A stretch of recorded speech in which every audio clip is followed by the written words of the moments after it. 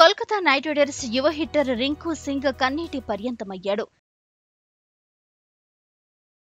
Play offs చేరాలంటే తప్పక గెలవాల్సిన మ్యాచ్లో జట్టును గెలిపించలేకపోయాననే బాధతో తీవ్ర భావోద్వేగానికి గురయ్యాడు. లక్నో సూపర్ జైంట్స్తో బుధవారం ఆఖరి బంతి వరకు ఉత్కంఠగా సాగిన మ్యాచ్లో కోల్కతా నైట్ రైడర్స్ రెండు పరుగుల తేడాతో ఓటమి పాలైంది. ఈ పరాజయంతో ఐపీఎల్ రెండు వేల ఇరవై రెండు సీజన్ నుంచి కేకేఆర్ నిష్క్రమించింది. అయితే లక్నో సూపర్ జైంట్స్ విధించిన రెండు వందల పది పరుగుల భారీ లక్ష్యాన్ని ఛేదించే క్రమంలో కోల్కతా గొప్ప పోరాటాన్ని కనబరిచింది. ముఖ్యంగా రింకు సింగ్ పదిహేను బంతుల్లో రెండు ఫోర్లు నాలుగు సిక్స్లతో కోల్కతాను గెలిపించేలా కనిపించాడు. కానీ చివరి ఓవర్లో ఐదో బంతికి అతను ఎవిన్ లూయిస్ స్టన్నింగ్ క్యాచ్కు వెనుదిరిగ్గా ఆఖరి బంతికి ఉమేష్ యాదవ్ క్లీన్ బౌల్డ్ అవడంతో కోల్కతా ఓడిపోయింది. దాంతో రింకు సింగ్ గ్రౌండ్లో కన్నీళ్ళు పెట్టుకున్నాడు.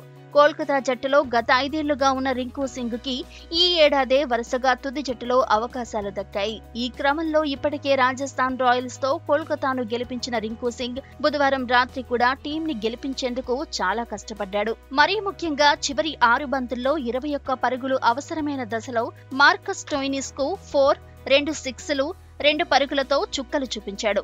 కానీ ఐదో బంతికి ఎవిన్ లూయిస్ ఒంటి చేత్తో పట్టిన డ్రైవ్ క్యాచ్కు రింకు సింగ్ వెనుదిరగాల్సొచ్చింది. దాంతో పెవిలియన్కి వెళ్తూ రింకు సింగ్ భావోద్వేగానికి గురయ్యాడు. మ్యాచ్ ముగిసిన అనంతరం కూడా రింకు సింగ్ ఓటమి బాధను తట్టుకోలేకపోయాడు. ఇది గమనించిన సహచరులు అతడిని ఓదార్చే ప్రయత్నం చేసినా ఉబికి వస్తున్న కన్నీటిని దాచుకోలేకపోయాడు.